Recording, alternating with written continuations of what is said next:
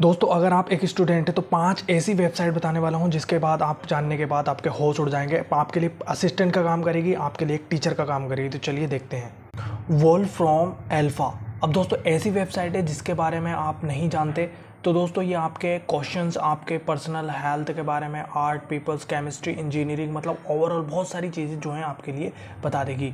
Second website का नाम है हुमेटा दोस्तों होमेटा एक ऐसी वेबसाइट है जिसका जिसका यूज़ आपके पास एक पीडीएफ है अगर आप एक क्वेश्चन करना चाहते हैं तो आप इस टाइप से जो है उससे क्वेश्चन पूछ सकते हो, आपके पीडीएफ इधर आ जाएगी और यहाँ पे, यहाँ पर क्वेश्चन पूछ सकते हो। मतलब बहुत अच्छी वेबसाइट है आप इसका यूज़ दोस्तों विंडोलिया विंडोलिया एक ऐसी वेबसाइट है जिस करने के बाद यूज़ करने के बाद आप एक फ्लैश कार्ड जो है आप बना सकते हैं और बहुत अच्छे तरीके से मतलब आप जो है इसमें कर सकते हैं, काफ़ी कुछ सीखने को मिलेगा।